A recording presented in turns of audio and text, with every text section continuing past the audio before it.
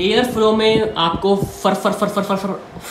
ऐसी आवाज़ आ रही है तो ये वीडियो आपके लिए पूरी देखो। फर फर की, सर सर की आवाज़ लग जाती है, जो एयर फ्लो में आती है। Hello everyone welcome back to our YouTube channel आज की वीडियो में आपके एसी में जो एयर फ्लो में आवाज़ आ रही है, फुर फुर फुर फुर फुर फुर, ऐसे आवाज़ आ रही है। बताइए मुझे माइक में आपको आ रही है या नहीं आ रही बट मैं आपको बता दूँ कि यहाँ पे जो हम एसी कोई भी एसी चला रहे हैं तो उसमें ना जैसे एयर में ऐसे रुक रुक के हवा आ रही है ऐसे ये हवा,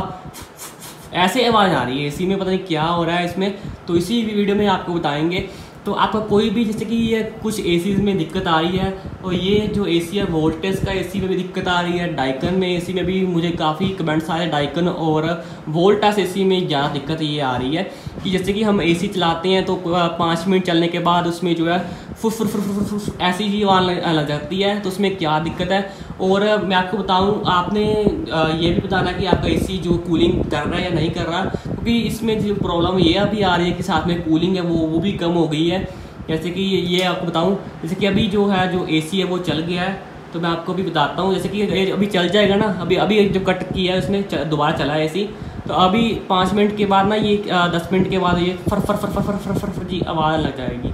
इसमें तो उसमें होता क्या है कि मैं आपको ये बताऊँ जैसे कि अभी एक मिनट हुआ है इसको चलाए को और एसी चल गया है। इक्कीस नंबर पे मैंने कर दिया है, कोई जैसे कि इक्कीस पे कर दो, आप चौबीस पे कर दो। दस मिनट या पंद्रह मिनट चलने के बाद इसमें यार फर फर की आवाज़ लग जाती है, ऐसे करता है, ऐसे आवाज़ लग जाती है इसमें। तो होता क्या है, दो दिक्कतें होती हैं सिर्फ़ इसमें। इसमें एक दिक्कत होती है जिसका जो यहाँ पे सेंसर लगा होता है, मैं आपको दिखाता हूँ। अभी तो इसमें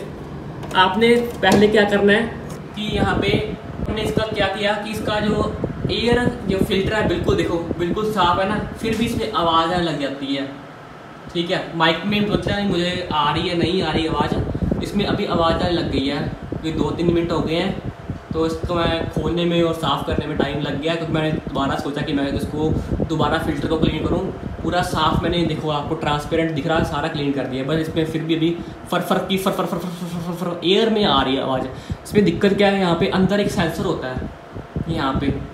जो सेंसर यहाँ पे कहीं कहीं ना कहीं एक पतला सा सेंसर लगा होता है, इतना पतला सा। वो जो रूम टेम्परेचर को जो देखता है कि कितना टेम्परेचर होगा, इसको कट करना पड़ता है। वो एक वो सेंसर ख़राब हो सकता है और दूसरा होता है कि बोर्ड में प्रॉब्लम आ गई है। और बोर्ड में प्रॉब्लम आने की वजह से क्या होगा कि यहाँ पे जो आपका जो अंदर का यहाँ पे जो ब्लोर है, अंदर जो ब्लोर चला होता है, वो गलती से कट कट कर लेने लग जाता है। वो कट आउट करने लग जाता है। पी में बीच में कट करता है, फुर फुर फुर फुर फुर वो ऐसे करता है। थोड़ी सी स्पीड स्लो जाती है फिर, फिर स्लो फास्ट स्लो फास्ट कर लग जाता है अपने आप को। जैसे कि अभी इक्कीस में मैंने किया तो अभी जो